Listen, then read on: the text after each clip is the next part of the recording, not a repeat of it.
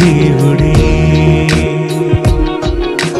దేవుని గూర్చి చెప్పిన దేవుడే.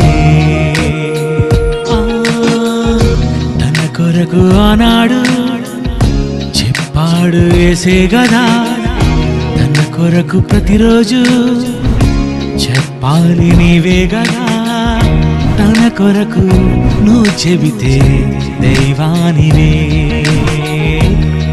గూర్చి నువ్వు చెబితే దైవాని. నీ కొరకు చూశాడు ఆ దేవుని ఓకే ప్రియులారా యోసేపు జీవితంలో మొదటి భాగాన్ని మీరు విన్నారు. యోసేపు ఎలా కలలు కన్నాడో యోసేపును తండ్రి అయిన యాకోబు ఎంతగా ప్రేమించాడో ఎప్పటికప్పుడు అన్నల సమాచారాన్ని యోసేపు యాకోబుకు చెబుతూ ఉండటం తను కన్న కలలు సైతం తన అన్నలతో పంచుకోవటం వలన అన్నలుగా ఉన్నవారు యోసేపు మీద పగ పెట్టుకున్నారు అసూయపడ్డారు. ఒకరోజు యోసేపును చంపాలనుకున్నారు. నీరు లేని బావిలోనికి దింపారు. ఆ తర్వాత మరలా యోసేపును బయటికి తీశారు. యోసేపును ఇష్మాయిలీలకు అమ్ముకున్నారు. అక్కడ నుంచి యోసేపును ఐగుప్తుకు తీసుకొని వచ్చారు ఆ మిథ్యానీయులు మరలా వారు యోసేపును పోతిఫరు అనేటువంటి వ్యక్తికి అమ్మగా ఆ పోతిఫరు అనేటువంటి వ్యక్తి యోసేపును ఇంట్లో పనివాడుగా తన నమ్మకత్వాన్ని చూసి ఆ ఇంటి అంతటిని కూడా తనకు అప్పగించినట్లు కేవలం తన భోజనము తప్ప మిగతా ఏ విషయంలో కూడా తను విచారించేవాడు కాదు అని అంతగా యోసేపును పోతిఫరు యజమాని నమ్మడాన్ని బట్టి చూస్తుంటే యోసేపు అంత నమ్మకంగా ఉన్నాడు అంత నమ్మకాన్ని తన యజమానుడి యొద్ద సంపాదించుకోగలిగాడు. నిజంగా యోసేపు జీవితాన్ని చూస్తున్నప్పుడు నమ్మకం అనేది ఎంత ప్రాముఖ్యమైందో అర్థమవుతుంది మొట్టమొదట. ఈరోజు మిమ్మల్ని నమ్మగలరా? ఒక భార్య భర్తను నమ్మగలదా? భర్తను భార్య నమ్మగలదా? లేదా పిల్లలను తల్లిదండ్రులు నమ్మేటువంటి పరిస్థితులు అంటే లేదు. ఎవరు ఎవరిని నమ్మేటువంటి రోజులు కావు అని మనుషుల మాటలు మనుషుల ప్రవర్తనలు తెలియజేస్తున్నాయి. కానీ ఒకరోజు దాసుడుగా వచ్చినటువంటి యోసేపుకు ఇల్లంతటినీ కూడా అప్పగించి తను పక్కకు వెళ్ళాడు అని అంటే ఆ దాసుడైన యోసేపును ఎంత నమ్మాలి ఎంత నమ్మకంగా ఉంటే అతను ఆ పని చేయాలి. మంచి యవనంలో ఉన్నాడు. పదిహేడవ ఏట మనకు కనబడతాడు ముప్పై ఏడవ అధ్యాయంలో. అక్కడికి వెళ్ళేటప్పటికి పదిహేడు ఒక పద్దెనిమిది సంవత్సరాలు అనుకుందాం. మంచి వయసు కదా. అందులో యోసేపు మంచి రూపసి అనగా మంచి సౌందర్యవంతుడుగా ఉన్నట్టు కనబడుతుంది మనకు. ఇక పోతిఫరు భార్య యోసేపును చూచింది యోసేపును కోరుకుంటుంది. యోసేపును ప్రతిరోజు కూడా తనను బలవంత పెడుతూ ఉన్నట్లుగా దినదినము తనతో మాట్లాడుతూ ఉండటం తనను ఒప్పించే ప్రయత్నం తను చేస్తూ ఉండటం తను తిరస్కరిస్తూ ఉండటం. ఒకరోజు ఎవరూ లేని సమయంలో యోసేపును పట్టుకుంది. కానీ యోసేపు తన పై వస్త్రాన్ని అక్కడే వదిలేసి యోసేపు పారిపోయాడు. ఆ తర్వాత యోసేపును ఒక దోషిగా చూపించాలి అనుకుంది. కారణం తనకు లొంగలేదు అని తన మాట వినలేదు అని తన కోరిక తీర్చలేదు అని యోసేపు మీద కక్ష పెంచుకున్నదిగా పగపట్టినదిగా ఈ పోతిఫర్ భార్య కనబడుతుంది. ఒకప్పుడు యోహాను మీద హేరోదయ ఎలా పగపట్టిందో ఇక్కడ యోసేపు మీద పగపట్టింది ఈ పోతిఫర్ భార్య. తన వస్త్రాన్ని సాక్ష్యంగా చూపించి గట్టిగా అరిచి కేకలు పెట్టి ఇంట్లో ఉన్నటువంటి పని వాళ్ళందరూ వచ్చేంతవరకు ఆ తర్వాత తన భర్త పోతిఫర్ వచ్చిన తర్వాత కూడా ఇదిగో చూసావా నువ్వు నమ్మకస్తుడు అని నువ్వు నమ్మి తీసుకుని వచ్చినటువంటి ఈ దాసుడైన యోసేపు నా మీదనే చేయి వేయబోయాడయ్యా. ఏమి నమ్మకస్తుడు ఇతను? అనగానే పోతిఫరు కూడా చాలా కోపం వచ్చేసింది. అలానే ఇంట్లో ఉన్న పని వాళ్ళందరూ కూడా యోసేపును అదోలా చూడటం ప్రారంభించారు. అదోలా మాట్లాడుతున్నారు. మరి ఇంతకాలం ఏదో మంచివాడు అనుకున్నావురా యోసేపును. కానీ యోసేపులో ఈ ఈ గుణం ఉందని మాకు ఇప్పటిదాకా తెలియలేదు. ఎంత ఆ, వీడు ఆశ్రయం ఇచ్చినటువంటి నమ్మినటువంటి యజమాని భార్యనే వీడు కోరుకుంటాడా అని రకరకాలుగా మాట్లాడారు. మొత్తానికి యోసేపును అవమానపరిచారు నిందించారు నిందలు వేశారు. తప్పుడు ఆ, కేసు పెట్టి అతని మీద అతను తీసుకుని వెళ్ళి జైల్లో పెట్టారు. ప్రస్తుతానికి యోసేపు జైల్లో ఉన్నాడు. ఒక విషయాన్ని మనం పదే పదే జ్ఞాపకం చేసుకున్నాం గత వారం ఏంటంటే యహోవా అతనికి తోడై ఉండను అన్నమాట. దేవుడు అతనికి తోడై ఉన్నాడు. దేవుడు అతనికి తోడై ఉంటే ఏంటి నిందలు? దేవుడు అతనికి తోడై ఉంటే ఏంటి అవమానం? దేవుడు అతనికి తోడై ఉంటే ఎందుకు చేరి నేరానికి శిక్ష? దేవుడు అతనికి తోడై ఉంటే ఎందుకు ఈ జైల్లో ఈ జీవితం? ఇలా జైల్లోకి వచ్చాడు జైల్లో ఒక ఖైదీగా శిక్ష అనుభవిస్తూ ఉన్నాడు. మరి ఎంతకాలం శిక్ష అనుభవించాడు? ఎప్పుడు జైలు నుంచి ఆయన బయటకు వచ్చాడు? అని అంతటితో మన గత వారం ఆపేశాం. ఇక ఎంతకాలం అతను జైల్లో ఉంటాడు? జైల్లో ఉంటున్న సమయంలో కూడా దేవుని విడిచిపెట్టినవాడు కాదు దేవుని మీద నమ్మకాన్ని ఏమాత్రం కూడా కోల్పోయినవాడుగా మాత్రం మనకు కనబడడు. తన యథార్థతను పోగొట్టుకోవటం లేదు. దేవుడి మీద నమ్మకాన్ని కోల్పోలేదు. అంతకంతకు అంతకంతకు ఆ కష్టములో ఆ శ్రమలలో ఇంకా దేవుడికి దగ్గరయ్యే ప్రయత్నమే చేస్తున్నాడు తప్ప కష్టం వచ్చిందని శ్రమ కలిగిందని అవమానం అని నిందలు అని చేయని నేరానికి నాకు ఏంటి బాధలు అని అసలు దేవుడు ఉన్నాడన్న ప్రశ్న ఇప్పుడు తను వేసుకున్నట్టు కనపడదు కానీ వీటిలో కూడా ఇంకా దేవుడికి చేరువయ్యేటువంటి ప్రయత్నం చేస్తున్నాడు.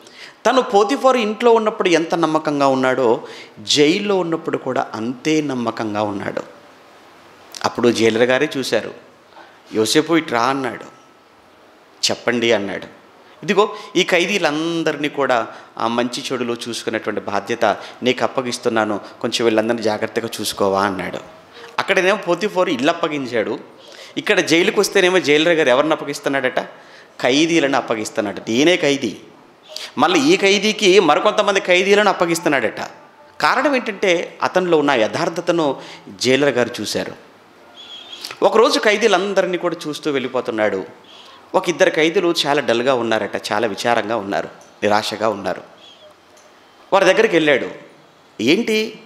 బ్రదర్ మీరు ఏంటి ఎందుకు ఇంత డల్గా ఉన్నారు? ఎందుకు మీరు ఇంత నిరాశగా ఉన్నారు?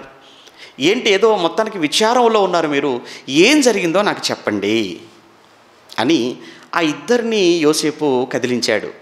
అప్పుడు కదిలించినప్పుడు అందులో మొట్టమొదటి వాడు పానదాయకుల అధిపతి. అతను చెప్తాడు రాత్రి నాకు కల వచ్చింది.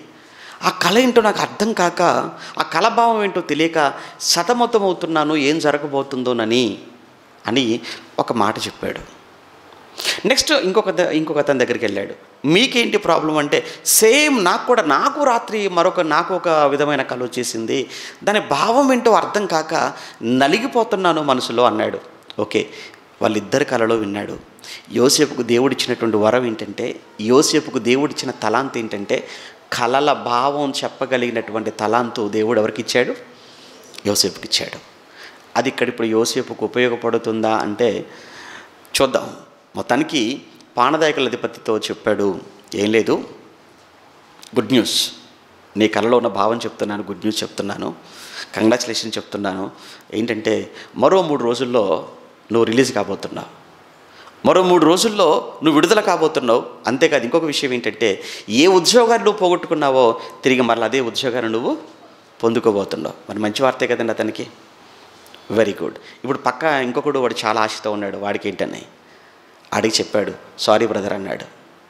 ఏమైంది అన్నాడు మరో మూడు రోజుల్లో రాజుగారు నీ తల తీసేస్తాడు అన్నాడు. ఒకడికేమో నీ తల ఎత్తి మరలా నువ్వు పొగొట్టుకున్న ఉద్యోగాన్ని నీకు ఇవ్వబోతున్నాడు రాజు తల ఎత్తుకో అన్నాడు. మరొకడు వ్యక్తితో మాట్లాడుతూ మరో మూడు రోజుల్లో నిన్ను ఉరి తీసేస్తాడు చంపేస్తాడు రాజు అనేసాడు అయితే పానదేకల అధిపతికి చెప్తున్నాడు ఇదిగో మూడు రోజుల్లో మరలా నువ్వు బయటికి వెళ్ళిపోతున్నావు కదా. రెండు మూడు రోజుల్లో నువ్వు రాజుగారి దగ్గర ఏ రాజుగారి దగ్గరికి వెళ్ళి మళ్ళీ నువ్వు జాయిన్ అవుతున్నావో గిన్నెందించేటువంటి జాబ్లో? అక్కడ ఉన్నప్పుడు ఆ రాజుగారితో కొంచెం నా గురించి ఏమైనా జ్ఞాపకం చేస్తావా? ఎందుకంటే యోసేపుకు బెయిల్ ఇచ్చే వాళ్ళు ఎవరు చెప్పండి ఈజిప్ట్ దేశంలో? తన తండ్రి కావచ్చు అన్నలు కావచ్చు అందరు ఎక్కడున్నారు? కనానులో ఉన్నారు. ఇతను ఎక్కడున్నాడు? ఈజిప్టులో ఉన్నారు. అసలు ఎవరైనా కానీ యోసేపుకు నా అన్న వాళ్ళు ఎవరైనా ఐగుప్తులో ఉన్నారా? ఎవ్వరూ లేరండి. ఇంక చెప్పాలంటే యోసేపు కొరకు ఆలోచించే ఒక్క వ్యక్తి మనకు ఐగుప్తులో కనబడాడు. ఒంటరివాడు కానీ దేవుడు తోడుగా ఉన్నాడు యోసేపుకు. అతను మనిషిని ఆశ్రయించాడు యోసేపు. కొంచెం నన్ను జ్ఞాపకం చేసుకుంటావా? పానదాయకుల అధిపతి చెప్తున్నాడు. నన్ను జ్ఞాపకం చేసుకుంటావా? నువ్వు బయటికి వెళ్తావు కదా? డ్యూటీలో జాయిన్ అవుతావు కదా? రాజుగారి దగ్గరనే కదా నీ జాబు? అలా రాజుగారితో నువ్వు నువ్వు రాజుగారి దగ్గర నువ్వు ఉద్యోగం చేసే సమయంలో ఏదో ఒక సమయంలో ఇదిగో ఈ ఖైదీగా నన్ను కూడా నువ్వు ఒక్కసారి జ్ఞాపకం చేసుకొని బయటికి తీసుకొచ్చే ఏర్పాటు ఏదైనా ఉంటే చేస్తావా? అనగానే వాడన్నాడు ఖచ్చితంగా బ్రదర్ ఇంత మేలు చేసావు నాకు నేను చేయకుండా ఉంటానా? అన్నాడు. మూడు రోజుల్లో రిలీజ్ అయ్యి బయటికి వెళ్ళిపోయాడు. ఇందే సంగతులు మర్చిపోయాడు. మర్చిపోయాడండి వాడు. ఇలా ఎంతకాలం అయిందో తెలుసా? సుమారు పది సంవత్సరాలు గడిచిపోయింది. అంటే యోసేపు ఎంతకాలం ఉన్నాడు అనుకుంటున్నారు జైల్లో? పది సంవత్సరాలు సుమారు. ఎందుకంటే ముప్పై ఏడు అధ్యాయంలో పదిహేడు సంవత్సరాలు మనం చదువుకుంటాం కదా ఆయన వయసు. పోనీ పద్దెనిమిదిలో ఐగుప్తుకు వచ్చాడు అనుకుంటే ఒక సంవత్సరం అక్కడ ఉన్నాడేమో ఇంట్లో పోతిఫార్ ఇంట్లో. ఏమండి? ఆ తర్వాత యోసేపు రిలీజ్ అయ్యి రాజు దగ్గర నిలబడేటప్పటికి ముప్పై అన్నమాట ఆయనకు. అంటే ఇప్పుడు సుమారు ఎంతకాలం ఉండి ఉండొచ్చు జైల్లో అంటే పది అనుకుందాం మనం టెన్ ఇయర్స్ పది సంవత్సరాలు ఎంత బాధ అనుభవించాడు? ఎంత ఓపిక పట్టాడు? ఎంత ఓర్చుకున్నాడు? ఎందుకంటే ఆయన ఏ తప్పు చేయలేదు. ఏ నేరము చేయలేదు. ఈలోపు వీడికి వచ్చినటువంటి కళ అతని భావం చెప్పి వీడి మీద ఆశ పెట్టుకున్నాడు. వీడు బయ బయటికి వెళ్ళిపోయి అప్పటికి రెండు సంవత్సరాలు గడిచిపోయిందట. వీడు బయటికి వెళ్ళి రెండు సంవత్సరాలు గడిచిపోయిందట. రెండు సంవత్సరాలు అయినప్పటికీ కూడా ఇతను కూడా మరి పట్టించుకోలేదు. ఎవరు? ఈ పానదాయకుల అధిపతి కూడా. అప్పుడు ఇక దేవుడే కలగజేసుకుంటున్నాడు ఇప్పుడు.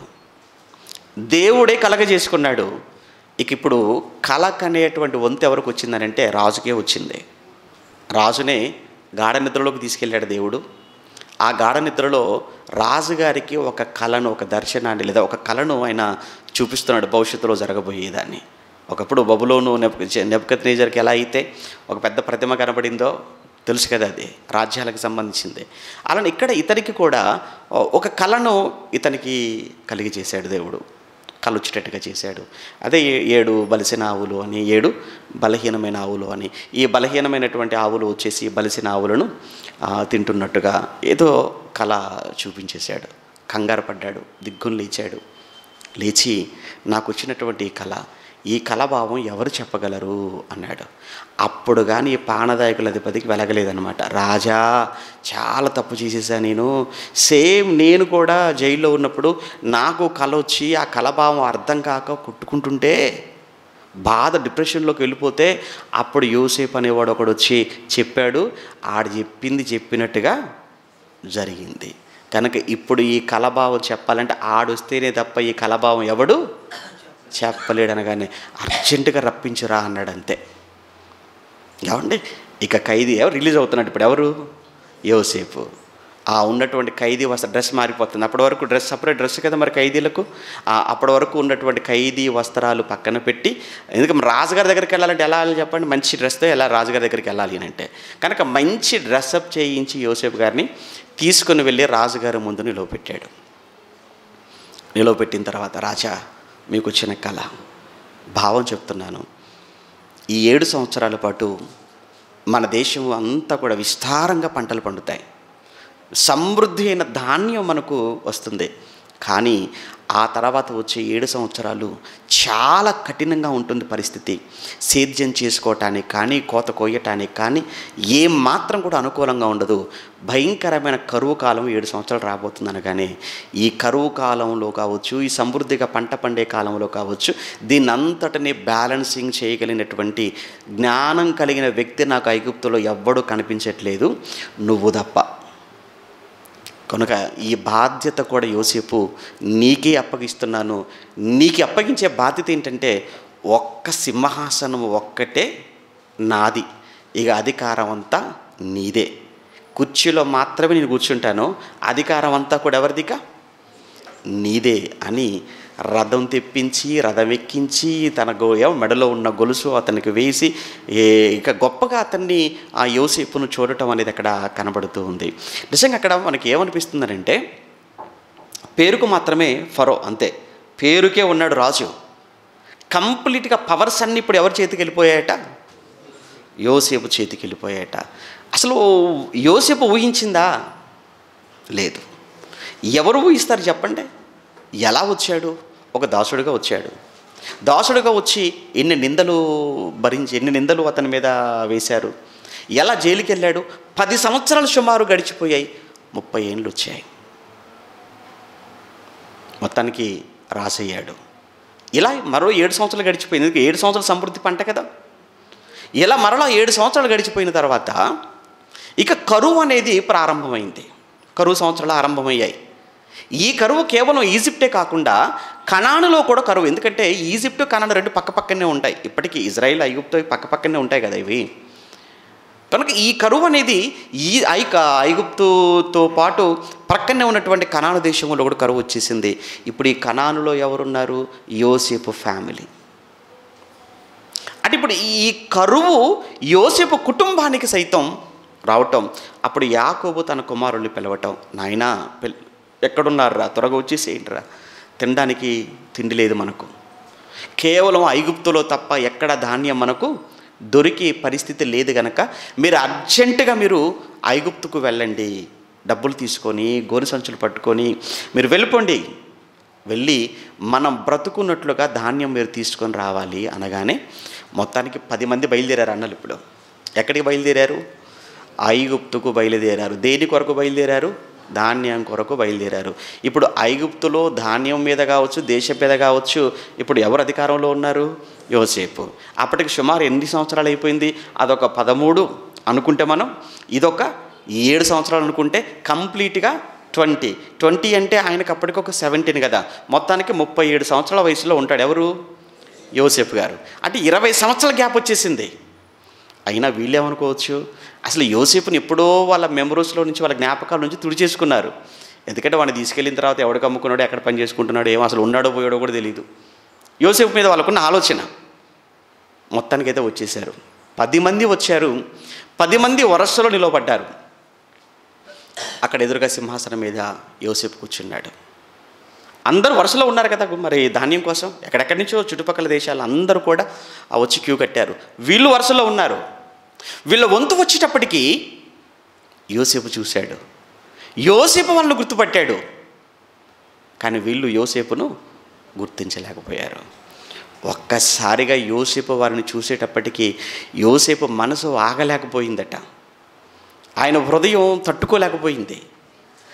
పక్కనే ఉన్న గదిలోకి పరిగెత్తుకొని వెళ్ళిపోయేసి తన తల గోడకు వేసేసుకొని కాసేపు ఏడ్చి తుడుచుకొని మళ్ళీ బయటకు వచ్చేసాడట ఇక ఆ- స- ఆ సిచ్యువేషన్స్ అంతా అలా జరుగుతుంటాయి. ఆ తర్వాత వచ్చి కూర్చోగానే ఈ పది మంది కూడా సాష్టంగ పడిపోయారట. మరి సాష్టంగా పడాలి గౌరవించాలి తప్పదు. ఎందుకంటే లేకపోతే ధాన్యం ఉండదు ఇప్పుడు. నిజంగా ఒకప్పుడు కన్న కళ ఏంటి? మనమందరము చేయిలోకి వెళ్ళాము పనులు కడుతున్నాము. నా పన నిలవబడింది మీ పనులన్నీ నా పనకు సాష్టాంగ పడ్డాయంటే చూసి నవ్వుకున్నటువంటి అన్నలు కదా వీళ్ళంతా. సూర్య చంద్ర నక్షత్రాలన్నీ కూడా నాకు సాష్టాంగ నమస్కారం చేశాయి అని అంటే పగపట్టిన అన్నలు కదా అసూయపడిన అన్నలు కదా ఇది చెప్పినందుకు? బాయిలో ఏమంటే ఎంతగా అరుస్తుంటే కేకలు పెడుతుంటే బ్రతిమలాడుకుంటుంటే కూడా మాట వినకుండా నీళ్ళు లేని ఆ బాయిలో దించిన వాళ్ళు కదా వీళ్ళు? వాళ్ళ కాళ్ళ మీద పడి బ్రతిమలాడుకుంటుంటే ఒకరోజు బలవంతంగా అతన్ని ఇస్మాయిలకు మిథ్యానీలకు అమ్మిన వాళ్ళు కదా వీళ్ళు? వాళ్ళని చూడగానే ఇవన్నీ జ్ఞాపకం వస్తాయా అంటే ఖచ్చితంగా వస్తాయి యోసేపుకు. మరి ఇప్పుడు యోసేపు ఏం చేయాలి? యోసేపు ఏమైనా చేయొచ్చు. అందులో పవర్స్ ఉన్నాయి. ఇప్పుడు ఎవరి చేతిలో ఉన్నాయి పవర్స్ యోసేపు చేతిలో. కేవలం ధాన్యం అమ్మకపోవడమే కాదు ధాన్యం ఇవ్వటమే కాదు. అవసరమైతే పది మంది దొరికారు కనుక తీసుకెళ్ళి లోపల పడేసినా ఎవరు మాట్లాడరు ఇప్పుడు? ఎవరక్కడ అనగానే పది మంది సైనికులు వస్తారు. ఈ పది మంది తీసుకెళ్ళి లోపల పడేయండి అంటే తీసుకెళ్ళి లోపల పడతారు అంతే ఇంకా ఏం మాట్లాడడానికి లేదు అక్కడ. అంత పవర్స్ ఉన్నాయి ఇప్పుడు యోసేపుకు. కానీ యోసేపు ఎలాంటి వాడంటే మెత్తటివాడు చాలా సెన్సిటివ్ అండి. వాళ్ళని చూసి ఈయన ఎడుతున్నాడండి ఇది విచిత్ర విచిత్రం చూడండి.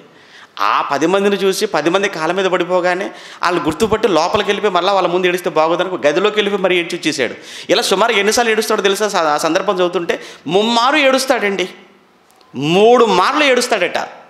ఇక చివరిసారికి వచ్చేటప్పటికండి తట్టుకోలేక గట్టిగా ఏడ్చేసాడట ఇది ఎక్కడుంది? నలభై ఐదు. ఆదికాండం నలభై ఐదవ అధ్యాయం. ఆదికాండం నలభై ఐదవ అధ్యాయం.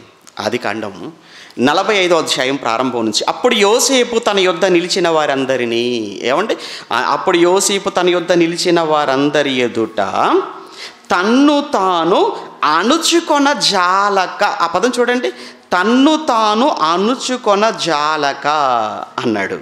అంటే ఇక కంట్రోల్ చేసుకోలేకపోయాడు అనమాట అప్పటికే టూ టైమ్స్ ఆయన చెప్పాను కదా గదిలోకి వెళ్ళి తల గోడకు మోపి ఏడ్చేశాడు చెప్పాను కదా. ఇక ఈ ఇక ఫైనల్గా తన తమ్ముడు బెన్యామిన్ కూడా తీసుకుని వచ్చేసిన తర్వాత ఇది చివరిలో జరుగుతుందన్నమాట ఇక ఫైనల్గా. ఇక ఎప్పుడైతే ఇక కంట్రోల్ చేసుకోలేకపోతే తన్ను తాను అనర్చుకోజాలక నా ఇద్దరు నుండి ప్రతి మనుషుణ్ణి వెలుపలకు పంపండి అని బిగ్గరగా చెప్పేశాడు అక్కడ ఉన్న వాళ్ళందరితో ఏమంటున్నాడంటే సైనికులతో. ఇక్కడ ఈ పది మంది పదకొండు మంది తప్ప ఇంకా ఎవ్వరు ఉండకూడదు. అందరు బయటికి పంపించేశాడు కానీ అందరు బయటికి వెళ్ళిపోయారట. కేవలం వీళ్ళు మాత్రం ఉన్నారు వీళ్ళకే భయమైపోతున్నారు ఇదేంటారు బాబు? ఆల్రెడీ ఒకరిని మనల్ని లోపల పెట్టేసి మీ తమ్ముడు తీసుకురమ్మన్నారు. ఇప్పుడు ఆయన తీసుకొచ్చేసిన తర్వాత వాళ్ళందరూ బయటికి వెళ్ళిపోమంటాడు. ఇప్పుడు మనల్ని ఏం చేస్తాడు ఏంటో భయపడుతున్నారు ఇల్లు అందులో మళ్ళీ ఇంటికి రప్పించేసారు స్పెషల్గా. భయం వాళ్ళ భయం వాళ్ళకు ఉంటుంది కదా? తెలియదు కదా అప్పటికి ఇంకా బయట ఓపెన్ అవ్వలేదు నా యోసేపు. ఇక చూడండి ఇక యోసేపు తన సహోదరులకు తన్ను తాను తెలియచేసుకొనినప్పుడు ఎవరునూ అతని యొద్ద నిలిచి ఉండలేదు. అతడు ఎలిగెత్తి ఏడవగా. అప్పుడు ఆయన ఏడ్చాడు ఇప్పుడు కూడా? విచిత్రం చూడండి. ఆ రోజు కూడా ఏడ్చింది ఎవరు? ఈయన ఏడ్చాడు. ఇప్పుడు ఏడుస్తుంది ఎవరు? ఇప్పుడు కూడా ఇతనే ఏడుస్తున్నాడండి. ఎంత మంచి మనసు అండి యోసేపుతో నిజంగా. కపటం లేని కల్మషం లేని ఏమండి ఎలాంటి ఆ, నాకు క్షమించగలిగిన గొప్ప మనసు ఉన్నవాడని అందుకే యోసేపును యేసుక్రీస్తుతో కొన్ని లక్షణాలు పోల్చి మాట్లాడుతుంటారు. యోసేపు ఎలా అయితే అమ్మ వేయబడ్డాడు? ఎవరు అన్నలే కదా అమ్ముకున్నారు. ఇక్కడ కూడా యేసుక్రీస్తుల వారిని అమ్మింది ఎవడంటే పక్కన ఉన్నటువంటి తన సహోదరుడైనటువంటి యోధాని ఇస్కర్ యూదాని అమ్మాడు. అక్కడ వాడు ఇరవై తులముల వెండికి అమ్ముకుంటే ఇక్కడ ఈయన ముప్పై వెండి నాణాలకు అమ్ముకున్నట్టుగా ఇక్కడ మనం చూస్తున్నాం. అంటే కొన్ని కొన్ని పోలికలు. యోసేపులో ఎలా అయితే తన సహోదరులు క్షమించేటువంటి ఆ గుణం మనం చూస్తుంటామో ఇక్కడ కూడా యేసుక్రీస్తుల వారు కూడా తండ్రి వీరు ఏం చేస్తున్నారో తెలియదులే తండ్రి క్షమించేసేయండి అని చెప్పటం. అక్కడ యోసేపు మీద ఎలా అయితే ఆ, యాకోబు చాలా ఇష్టంగా ప్ర- ప్రేమను పెంచుకున్నాడో పరలోకంలో ఉన్నటువంటి తండ్రి కూడా యేసుక్రీస్తుల వారి మీద ఇదిగో నాకు ఇష్టమైన కుమారుడు నాకు ప్రియమైన కుమారుడు అంటే కొన్ని కొన్ని పోలికలు అనమాట యోసేపులో ఉన్న కొన్ని పోలికలు ఎవరిలో కనబడుతుంటాయి? యేసుక్రీస్తుల వారిలో కనబడుతుంటాయి. ఇక్కడ ఈ సందర్భాన్ని చూస్తున్నప్పుడు ఆయన అతడు ఎలుగెత్తి ఏడవగా ఐగుప్తీయులను ఫరో ఇంటి వారందరూ విన్నారు. అప్పుడు యోసేపు నేనే యోసేపును. ఇప్పుడు ఓపెన్ అయ్యాడనమాట ఆ పది మంది ముందు గట్టిగా ఏడ్చి నేనే యోసేపును. అని అనగానే చూడండి ఆ నా తండ్రి ఇంకా బ్రతికి ఉన్నాడా అని అడిగినప్పుడు అతని సహోదరులు అతని సముఖమునందు తొందరపడి అతనికి ఉత్తరము ఇయ్యలేకపోయిరి భయపడిపోయారట ఒక్కసారిగా. మాట రాలేదట కాసేపటి వరకు ఉత్తరం ఇయ్యలేకపోయిరంటే దాని అర్థం ఏంటంటే ఇక వారు మాట్లాడడానికి అవకాశం లేకుండా పోయింది. వారి నోర్లు మూతబడిపోయి సమాధానం చెప్పలేని పరిస్థితి అయిపోయింది. ఏం చెప్తాం? ఎందుకంటే దానికి ముందు నలభై రెండు నలభై మూడు నలభై నాలుగు అధ్యాయాలు జరిగింది కూడా మీకు తెలియాలి. ఆ సిచ్యువేషన్స్ అన్నీ కూడా మీరు చూస్తే తర్వాత ఈ ఇది చదివితే ఇంకా మీకు బాగా అర్థమవుతుంది. అంతా చెప్పే సమయం లేదు కనుక నేను కాస్త పై పైన నేను మాట్లాడుతున్నాను. ఇక్కడ ఎప్పుడైతే ఆయన ఈ మాట చెప్పాడో అప్పుడు యోసేపు నేనే యోసేపును నా తండ్రి ఇంకా బ్రతికున్నాడని అడిగినప్పుడు అతని సహోదరులు తొందరపడి ఉత్తరం ఇవ్వలేకపోయారు. అంతటి యోసేపు నా దగ్గరికి రండని తన సహోదరులతో చెప్పినప్పుడు వారు అతని దగ్గరకు వచ్చిరి. అప్పుడు అతడు ఐగుప్తునకు వెళ్ళినట్లు మీరు అమ్మి వేసిన మీ సహోదరుడైన యోసేపును నేనే. మీ సహోదరుడు యోసేపును నేనే. అయినను నేను ఇక్కడికి వచ్చినట్లు మీరు నన్ను అమ్మి వేసినందుకు దుఃఖపడకండి. ఈయన దుఃఖపడుతూ వాళ్ళు దుఃఖపడొద్దు అంటున్నారు చూడండి. మీరు అమ్మి వేసినందుకు దుఃఖపడకండి. అది మీకు సంతాపము పుట్టింపనీయకండి. ప్రాణరక్షణ కొరకు మీకు ముందుగా దేవుడు నన్ను పంపి పంపించెను. బా ఈయన ఏమంటే మనకి ఎలా ఉంటుందంటే కవరింగ్ అన్నట్టుగా ఉంటుంది కానీ నిజంగా దేవుని సంకల్పాన్ని ఎరిగినవాడు దేవుని మనసు ఎరిగినవాడండి ఎవరు? యోసేపండి. ఎంత మంచి మాటలు మాట్లాడుతున్నాడు అని అంటే అనలారా? నన్ను మీరు అమ్మేశారని మీరేం దుఃఖపడుతున్నారా? మీరేం దుఃఖపడకండి. మీరు ఏమి బాధపడకండి. ఎందుకంటే ఈ రాబోతున్న ఈ భయంకరమైనటువంటి కరువు ముందుగానే ఎరిగిన వాడయ్యుండి దేవుడు మీ ద్వారా దేవుడు నన్ను మిమ్మల్ని కాపాడుకోవడానికి మీ ప్రాణాలు కాపాడుకోవడానికి నన్ను దేవుడు ఇక్కడికి ముందుగా పంపించాడు తప్ప మీరు పంపలేదు మీరు అమ్మివేయలేదు మీరు నన్ను నాకు మీరు కీడు చేయలేదు ఈ మాటలు మాట్లాడుతున్న వాళ్ళకి ఎలా అనిపించాలి చెప్పండి ఇప్పుడు? వాళ్ళే కదా అమ్మేశారు. మీరు అమ్మేయలేదు అంటున్నాడు వాళ్ళే కదా బాధ పెట్టారు? మీరేం బాధపడకండి అంటున్నాడు. వాళ్ళే కదా దుఃఖ పెట్టారు? మీరేం దుఃఖపడకండి అంటున్నాడు. ఏంటండి యోసేపులో ఉన్న మంచితనం? అంటే ఎంత బాధ అనుభవించాడు యోసేపు తెలుసా? చాలా బాధ అనుభవించేశాడండి. చాలా చాలా దుఃఖాన్ని అనుభవించేశాడు. గత వారం మీకు చెప్పాను కదా అతన్ని బాయిలో దింపుతున్నప్పుడు ఎంతగా బతిమాలుకున్నాడు అని రూబెన్ వచ్చి మాట్లాడుతున్నాడు. బతిమాలుకున్నాడు కదరా? ఆ రోజు మనం వినలేదు కదరా? అని రూబెన్ మిగతా వాళ్ళందరితో చెప్పినటువంటి ఒక మాట మీకు జ్ఞాపకం చేశాను. బతిమాలుకున్నాడట యోసేపు. అమ్మేటప్పుడు కూడా బతిమాలుకున్నాడట. కానీ ఎవ్వరూ ఆ రోజు యోసేపు మాట వినలేదు. కానీ ఈరోజు అందరూ యోసేపు దగ్గరకు వచ్చారు. యోసేపు ఇప్పుడు వారి మీద ఏ విధమైన యాక్షన్ తీసుకోవచ్చు యోసేపు వారి పట్ల పగ తీర్చుకునేటువంటి అవకాశం అతని చేతికి వచ్చింది. కానీ లేదు. కానీ యోసేపు చాలా ఉన్నతమైనటువంటి ఆ స్థాయిలో ఈరోజు యోసేపు ఉన్నాడు. ఉన్నతమైనటువంటి స్థాయిలో యోసేపు ఉన్నాడు. ఒక విషయం గుర్తుంచుకుని ఎప్పుడు కూడా ఉన్నతమైనటువంటి స్థాయికి వెళ్ళాలి అనుకుంటే చాలా వస్తుంటాయి మనకు అవమానాలు వస్తాయి నిందలు వస్తాయి అవన్నీ వస్తాయి. అవన్నీ మనం పట్టించుకొని వాటి గురించి మనం ఆలోచించుకుంటూ అక్కడే ఆగిపోతే దేవుడు మన కోసం సిద్ధం చేసిన ఆ సింహాసనంపైకి మనం వెళ్ళటం ఆలస్యమైపోతుంది. లేదా అందుకోకుండా కానీ వెళ్ళిపోతామేమో. అందుకే యేసుక్రీస్తుల వారి గురించి మాట్లాడినప్పుడు కూడా పౌలు గారు ఆయన అవమానమును నిర్లక్ష్య పెట్టి అంటాడు. ఆయన అవమానమును ఏం చేశాడట? నిర్లక్ష్య పెట్టాడు యేసుక్రీస్తు. అవమానము నిర్లక్ష్య పెట్టినందుకు దేవుడు పరలోకంలో ఆయనకు అత్యున్నతమైన సింహాసనాన్ని ఇచ్చాడు. పరలోకంలో భూలోకంలో భూమి కిందున్న వారిలో అందరికంటే కూడా యేసుక్రీస్తుల వారిని ఎందుకు గొప్పవాడిగా చేశాడు అని అంటే ఆయన తనకు వచ్చిన కష్టాలలో ఆయనకు వచ్చిన శ్రమలలో ఆయనకు వచ్చిన అవమానాలు అన్నీ ప్రక్కన పెట్టాడు. అందరినీ కూడా క్షమించుకుంటూ వెళ్ళిపోయాడు. అందుకే దేవుడు ఆయన అంత ఉన్నతమైన స్థానంలో కూర్చోబెట్టాడు. మరి మనం ఎందుకండి ఎక్కడున్న వాళ్ళం అక్కడే ఉంటున్నాం? ఎందుకు మనలో ఎదుగుదల లేదు? ఎందుకు మనం ఎదగలేకపోతున్నాం? ఏది ఎంతసేపు ఇదే స్థాయిలో ఉంటున్నాం ఏంటి మనం? అంటే ఎక్కడో మనలో పొరపాటు ఎక్కడో లోపం జరుగుతుంది. అందుకే అంటాడు కదా ఎవరిని కీడు చేసే అవకాశం వచ్చినా యోసేపుకు ఆయన కీడుకు కీడు ఆయన ప్రతి కీడు చేయలేదు. అదే రోమపత్రికలో మాట్లాడతారు కదా రోమపత్రిక పన్నెండో అధ్యాయంలో ఇరవై ఒకటో వచ్చినంలో ఆయన ఎలా జయించాడు చూద్దామా ఆ కీడును? రోమపత్రిక పన్నెండవ అధ్యాయం ఇరవై ఒకటో వచ్చిన రోమపత్రిక పన్నెండవ అధ్యాయం ఇరవై ఒకటో వచనంలో కీడు వలన జయింపబడక మేలు చేత కీడును జయించుము అన్నాడు. కీడు చేత మీరు జయించబడక అన్నాడు. అవును ఆ రోజు కీడు చేసిన వాళ్ళ కళ్ళ ముందుండి వారికి కీడు చేసి చూసావా నన్ను అంత బాధ పెట్టినందుకు ఇప్పుడు వాడికి బాధ ఏంటో తెలుస్తుందిరా అని అలా అతను ఆనందపడవచ్చు అర్థమైందా? నన్ను ఇలా బాధ పెట్టారు నన్ను ఇలా హింసించారు. నన్ను బాధ పెట్టినందుకు నన్ను హింసించినందుకు ఇప్పుడు నేను వాళ్ళను పగ తీర్చుకునే సమయం నాకు వచ్చింది. అని ఆయన పగ తీర్చుకొని వారిని గెలిచినట్టుగా ఫీల్ అవ్వచ్చు ఆయన.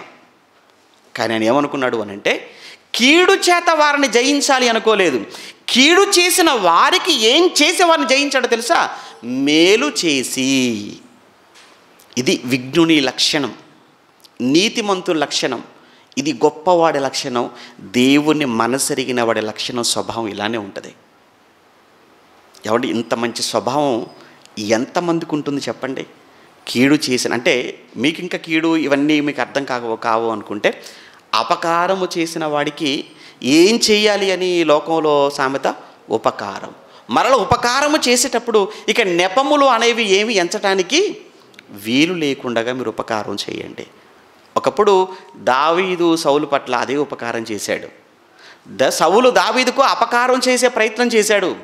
అపకారం ఎంత అపకారం అంటే దావీదును చంపాలన్నంతగా. కానీ ఒకరోజు దావీదును చంపాలని వెతుకుతున్నటువంటి సౌలే దావీదు చేతికి దొరికిపోయాడు. కానీ దావీదు ఏం చేశాడు అతన్ని వదిలేశాడు.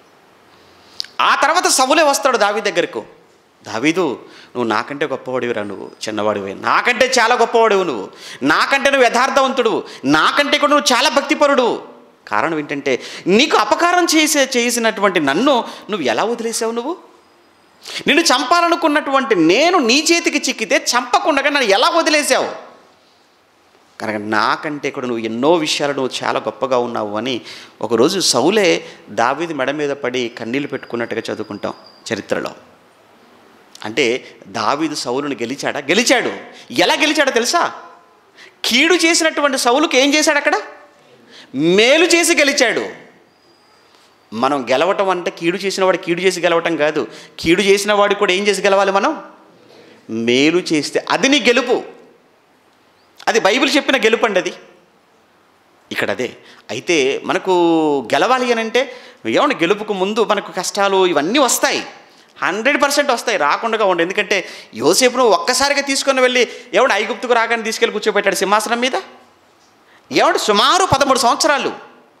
ఈ పదమూడు సంవత్సరాలలో ఎన్ని బాధలు అనుభవించాడు మహానుభావుడు యోసేపు గారు? ఇవన్నీ ఎందుకు వచ్చాయో తెలుసా? ఆయన గొప్పవాన్ని చేయటానికే వచ్చాయట ఇవన్నీ కూడా.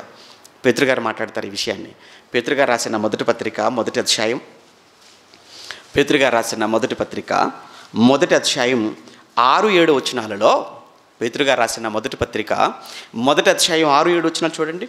ఇందువలన మీరు మిక్కిలి ఆనందించుచున్నారు అన్నాడు. ఇందువలన మీరు మిక్కిలి ఆనందించుచున్నారు ఇందువలన మీరు మిక్కిలి ఆనందించున్నారు. ఏం ఆనందం ఉందండి వాళ్ళకు ఇంతకు ఎవరికండి ఆయన రాస్తున్నాడు పత్రిక? పౌలు గారు పేతురు గారు. ఎవరితో మాట్లాడుతున్నాడు తెలుసా? చెదిరిపోయినటువంటి వాళ్ళకి చెప్తున్నాడండి. శ్రమలు బహ- భయంకరమైన శ్రమలు నీరోకాలంలో వచ్చినప్పుడు క్రైస్తవులందరూ కూడా ఆయా ప్రాంతాలకు చెదిరిపోయారు. అలా చెదిరిపోయినటువంటి క్రైస్తవులందరిని ఉద్దేశించి రాసిన పత్రిక ఈ మొదటి పత్రిక. మొదటి పత్రిక కంప్లీట్గా ఏ చెప్తుందని అంటే శ్రమల కోసమే మాట్లాడుతుంది మొదటి పత్రిక అంత మీకు గతంలో చెప్పాను. పేతురుగా రాసిన మొదటి పత్రిక సారాంశం అంతా ఏంటంటే శ్రమలే. ఎవడను క్రైస్తవుడైనందుకు బాధ అనుభవించిన ఎడలా ఆ పేరును బట్టి అతడు దేవునిని మహిమపరచాలి సిగ్గుపడాల్సిన పని లేదని చెప్తాడు కదా. ఇక్కడే మాట్లాడుతుంటాడు ఆయన. ఈ పత్రికలోనే మాట్లాడతాడు. కానీ ఇక్కడ కూడా ఏంటంటే ఈ చెదిరిపోయినట్టు వాళ్ళు అనేకమైన శ్రమల్లో ఉన్నారు. ఆ శ్రమలలో వీళ్ళు ఎలా ఉన్నారు అనేది చూద్దాం. ఆరవచనంలో ఇందువలన మీరు మిక్కిలి ఆనందించుచున్నారు కానీ అవసరమును బట్టి నానా విధములైన శోధనల చేత ప్రస్తుతమున కొంచెము కాలము మీకు దుఃఖము కలుగుచు అవసరమును బట్టి నానా విధములైన శో అవసరమును బట్టి అవసరమును బట్టి. ఆ పదం అండలో ఏం చేసుకోవాలి? అవసరమును బట్టి. నువ్వు అనుకోవచ్చు నాకు ఎందుకండి ఇప్పుడు ఈ కష్టం వచ్చి పడింది నాకు నాకు ఎందుకండి ఇప్పుడు ఈ శ్రమ వచ్చి పడింది నాకు ఎందుకండి ఇప్పుడు ఈ శోధన వచ్చి పడింది అని అంటే ఇప్పుడు నీకు ఈ శోధన నీకు అవసరం. ఇప్పుడు నీకు ఈ శ్రమ ఎందుకు వచ్చింది తెలుసా? ఈ శ్రమ ఇప్పుడు నీకు అవసరం అది.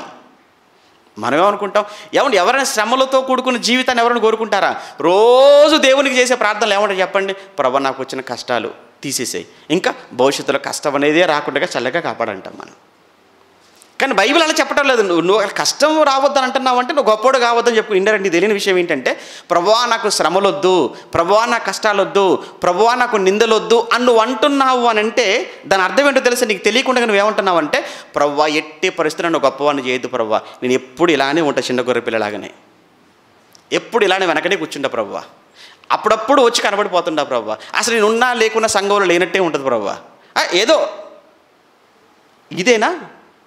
అవసరమును బట్టి అని చూసారా పదం? అవసరమును బట్టి నానా విధములైన శోధనలు. ఆ రోజు ఏదేని తోటలోనికి ఎవరి సర్పము సర్పం మనకు కనబడుతుంది? ఆ రోజు సర్పం రూపంలో వచ్చింది కదా ఆ రోజు? ఎవరు? సాతాను. సాతాను ఆ రోజు అవ్వను మోసగించడానికి ఎలా వచ్చింది అది? సర్పము రూపంలో వచ్చింది. యోసేపును పాడు చేయడానికి అందమైన స్త్రీ రూపంలో వచ్చింది అంతే. నానా విధములైన శోధనలు. మీకు అర్థమైందా? ఆ రోజు సర్పం రూపంలో వచ్చింది. పాడు మోసగించడానికి అలానే ఇక్కడ యోసేపును పాడు చేయటానికి ఒక అందమైనటువంటి ఫోర్తిఫోర్ భార్య రూపంలో వచ్చింది శోధన. కానీ ఈ శోధనలో ఆయన ఏమైపోయాడు అని అంటే పారిపోయాడట శోధనకు దూరంగా.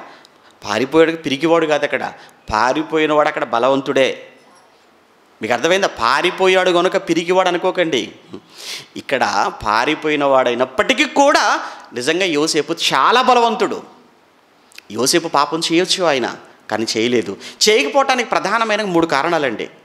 లాస్ట్ వీక్ చెప్పాను అనుకుంటాను యోసేపు పాపం చేయకుండా ఉండటానికి ప్రధానంగా మూడు విషయాలు. ఒకటి ఏంటంటే తన యజమానుడు తన మీద పెట్టుకున్న నమ్మకం. మొట్టమొదటి చూడండి తన యజమానుడు అనగా ఫోతిఫరు తన మీద పెట్టుకున్న నమ్మకం ఏంటంటే యోసేపు చాలా మంచివాడు యోసేపు చాలా నీతిమంతుడు అని యోసేపును నమ్మి ఇండ్లంతటిని తన చేతిలో అప్పగించిన తర్వాత ఇంత నమ్మిన యజమాని భార్యను నేను ఎలా నేను కూడగలను? అంటే అక్కడ యోసేపు తన యజమానికి తన మీద ఉన్న నమ్మకాన్ని ఒమ్ము చేయాలనుకోలేదు. అది మొట్టమొదటిది. ఇక రెండో విషయం ఏంటి చెప్పమంటారు రెండోది అతను తప్పు చేయకపోవడానికి రెండో కారణం ఏంటంటే అక్కడ ఉన్నటువంటి ఏమంటే ఏమంటే పోతిఫరుకు అలానే భార్య.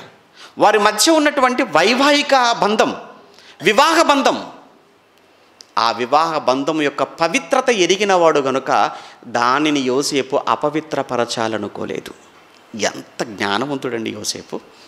వివాహం అన్ని విషయములలో ఘనమైనది.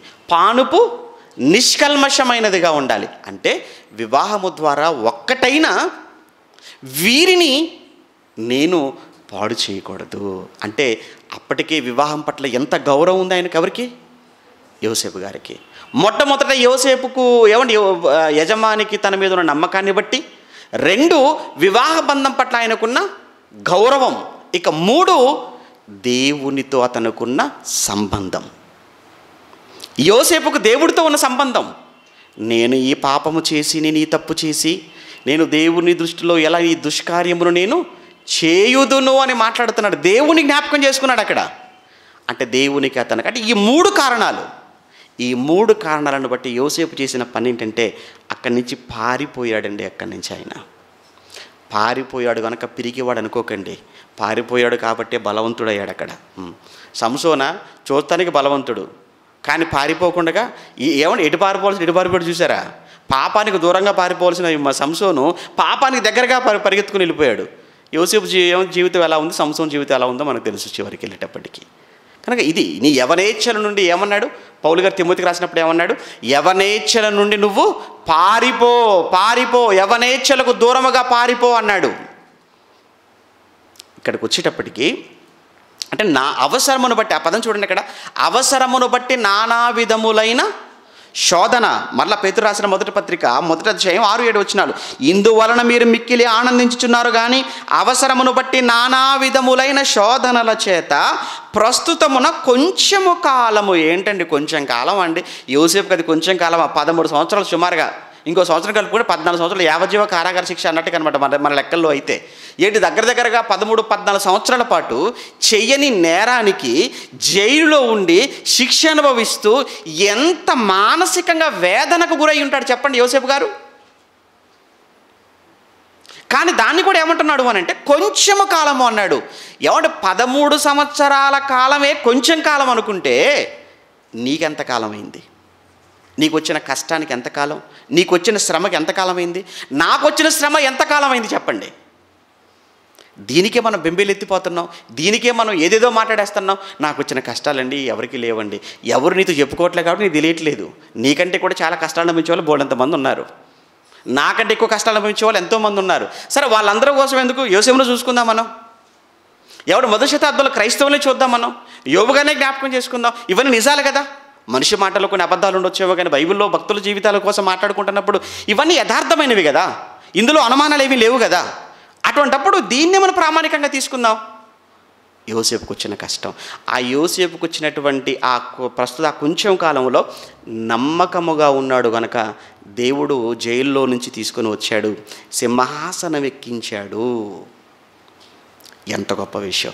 అంటే ఈరోజు నువ్వు కష్టంలో ఉండొచ్చు. నిజంగా నువ్వు కన్నీళ్ళు పెట్టుకుంటూ ఉండొచ్చు నీ జీవితాన్ని బట్టి.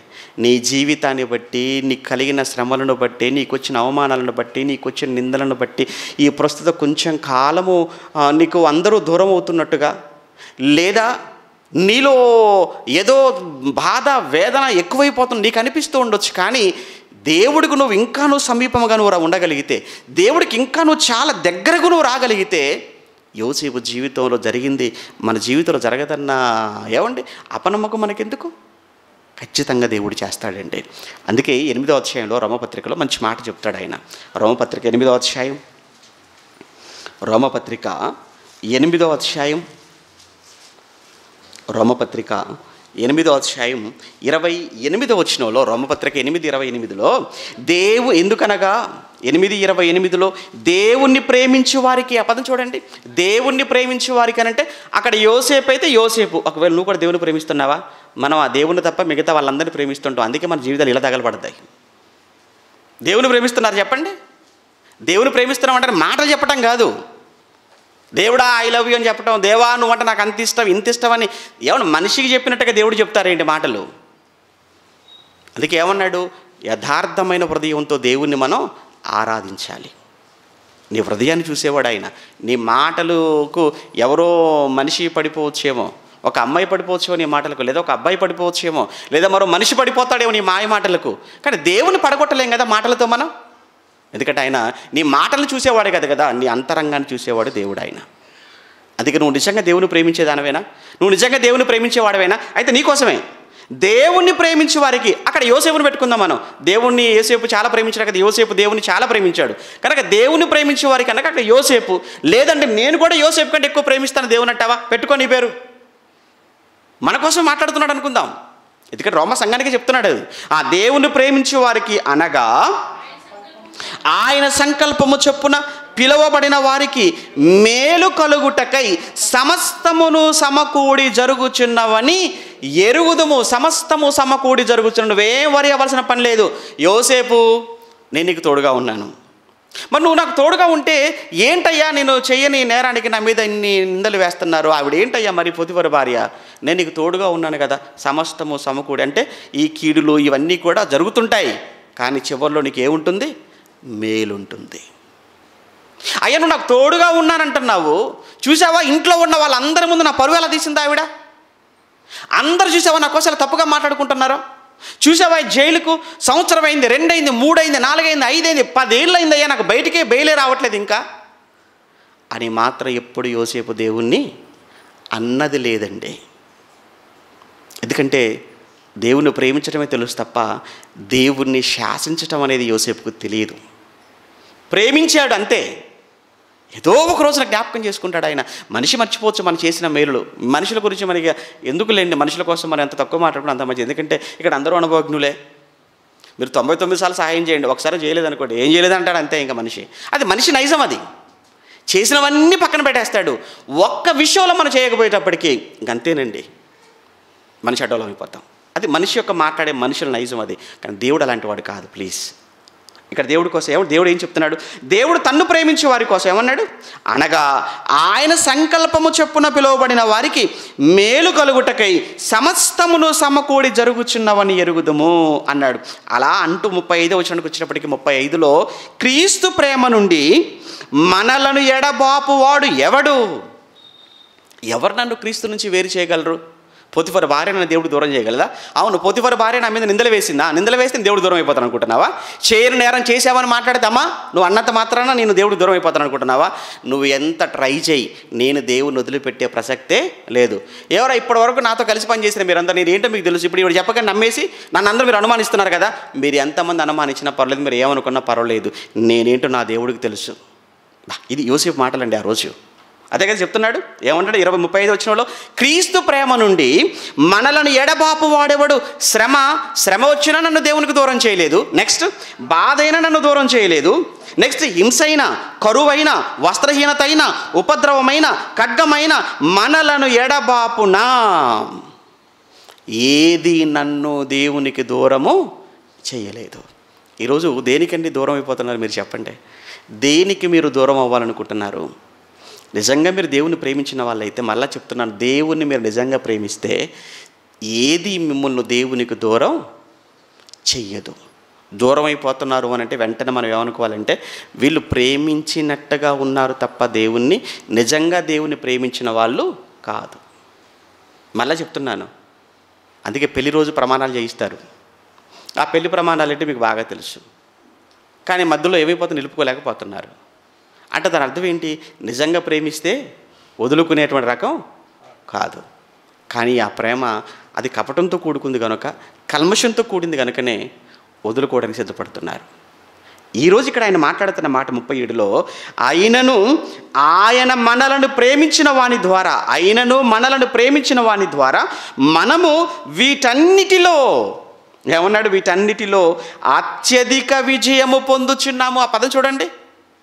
అయినను మనలను ప్రేమించిన వాని ద్వారా మనము వీటన్నిటిలో అన్నాడు. వీటన్నిటిలో అంటే వేటిలో? వీటన్నిటిలో అంటే వేటిలో? పైన చెప్పిన ముప్పై ఐదు. ముప్పై ఐదులో ఏం చెప్పాడు ఆయన? ఏమంటే ఖడ్గమైనను శ్రమ అయినను బాధ అయినను హింస అయినను కరువైనను వస్త్రహీనత అయినను ఉపద్రవమైనను వీటన్నిటిలో ఏ విజయం అంట? మరలా మనకు వచ్చిన విజయం? అత్యధికమైన విజయం అంటే డాప్లో ఉంటామటండి మనం.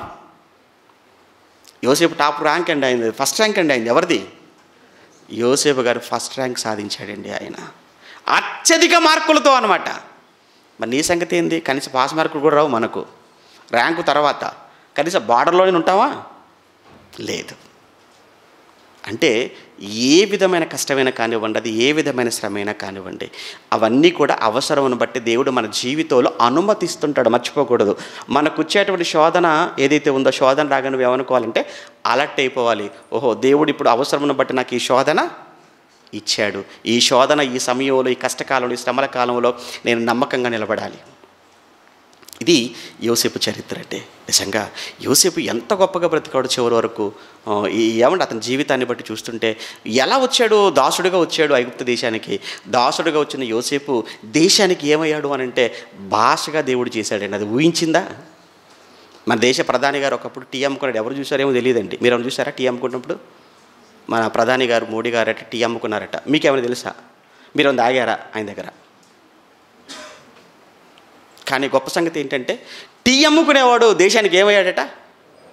ప్రధాని అయ్యాడట. మరి ఈయన సంగతి ఏంటి? యోసేపు గారి సంగతి? బానిసగా వచ్చాడు. మీకు అర్థమైందా? బానిసగా వచ్చాడు దాసుడుగా వచ్చాడు. దాసుడుగా వచ్చినవాడు బానిసగా వచ్చినవాడు దేశానికి ఏమయ్యాడు? ప్రధాని. ఎవడండి చేయగలరు చెప్పండి?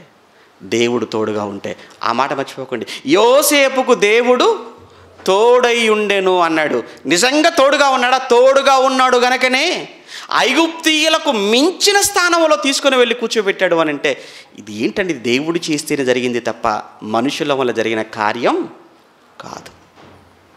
ఆ తర్వాత యోసేపు తన ఏమండి? ఇక్కడ మనం చదువుకున్న నలభై ఐదో అధ్యాయంలో అన్నలను మాట్లాడతాడు బెన్యామిన్తో చూస్తాడు సంతోషపడతాడు భోజనం పెడతాడు మీరు అర్జెంటుగా వెళ్ళి నాన్నని తీసుకొచ్చేసి అని అంటాడు.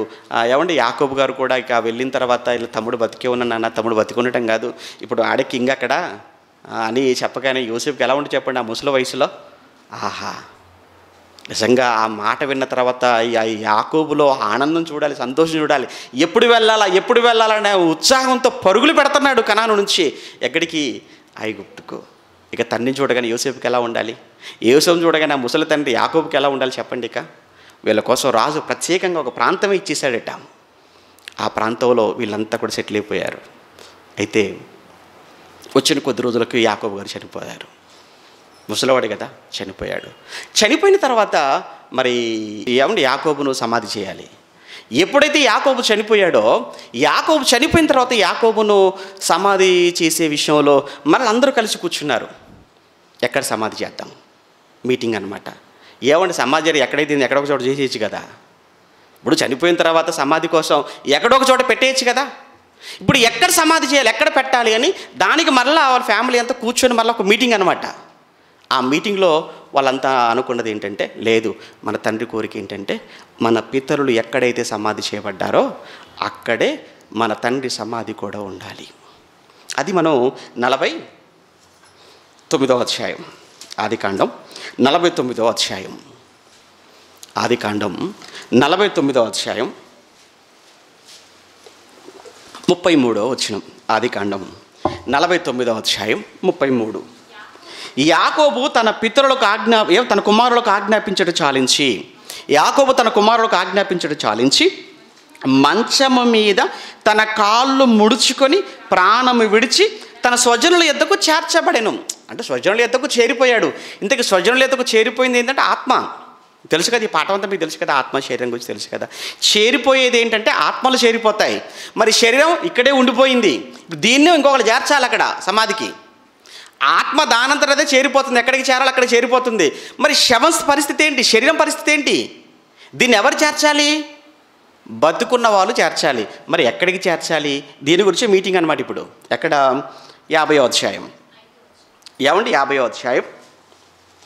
యాభై అధ్యాయం ఐదో వచ్చిన నా తండ్రి నా చేత ప్రమాణం చేయించి ఇదిగో నేను చనిపోవచ్చున్నాను కణానులో నా నిమిత్తము సమాధి త్రవ్వించి తిని కదా ఆ పదం చూడండి. కణానులోటి నా ఆల్రెడీ సమాధి తవ్వించుకుని రెడీగా వచ్చేసారట. ఏమంటే మీకు ఎవరికైనా కానీ సమాధులు తవ్వి రెడీగా ఉన్నాయా? చైతన్యం చూద్దాం ఒకరెవరైనా ఒకరు ఎవరైనా ఏమండి? నేను వచ్చేటప్పుడు ఆల్రెడీ సమాధిని తవ్వించుకొని ఇక్కడికి వచ్చేసానండి. అన్న వాళ్ళు ఎవరైనా ఉన్నారా? పోనీ ఇప్పుడు కాదులేండి. ఎప్పుడో రెడీగా ఉందండి నా కోసం సమాధి. అన్న వాళ్ళు ఎవరైనా ఉన్నారా? ఎవ్వరూ లేరండి. కానీ భక్తులందరూ కూడా ముందే సమాధులు రెడీ చేసుకున్నారండి. ఎందుకంటే ఎంతకాలం ఉంటాం. అందుకే కావచ్చు అబ్రాహం కావచ్చు ఇస్సా కావచ్చు యాకోబు కావచ్చు గుడారాలలో ఉండడానికి ఇష్టపడ్డారు తప్ప భవనాలలో ఉండడానికి వాళ్ళు ఇష్టపడలేదండి. వాళ్ళు చూస్తుంటే మనకు అదే కదండి అర్థమవుతుంటుంది. ఎందుకంటే ఇది కాదు మనకు శాశ్వతం. ఎంత పెద్దదైనా ఆ తర్వాత చావగానే బయటికి లాగేసి ఆ తర్వాత పెట్టెలో పెట్టి పాడబాడు కూడా తీసుకెళ్ళిపోతారు మనల్ని. మనల్ని మనం కట్టినప్పటికీ మన ఇంట్లో మనల్ని ఎవ్వడు అనొచ్చు. ఏమంటే ఎవరి పేరు మీద ఉందండి ఆయన పేరు మీద? మరి ఆయన ఉంటాడా నో ఆయన పేరు మీద ఉన్నా ఇప్పుడు ఆయన లేడు కాబట్టి ఉండడానికి వీల్లేదు ఇక్కడ. కొంతమంది కోరికలు ఉంటాయండి. ఎవరిని ఎందుకు లేని ఇక్కడ మనం ఇక్కడ ఇక్కడ ఇతని కోరిక చూద్దాంలేండి ఇక్కడ మనం. ఐదో వచ్చిన వాళ్ళు ఏమన్నాడు? నా తండ్రి నా చేత ప్రమాణం చేయించి ఇదిగో నేను చనిపోచున్నాను కణానులో నా నిమిత్తము సమాధి త్రవ్వించి తిని కదా అందులోనే నన్ను పాతి పెట్టవలనని చెప్పాను. ఈయన సెంటిమెంట్ చూడండి అందులోనే. కొంతమంది కోరిక ఉంటుందండి. ఏంటంటే ఒరేయ్ నేను చచ్చిపోయిన తర్వాత మీ అమ్మని ఎక్కడ పెట్టా నన్ను అక్కడ పెట్టరా అంటారు. అమ్ముంది ఏంటి అందులో? అమ్ముంది ఏంటండి అక్కడ?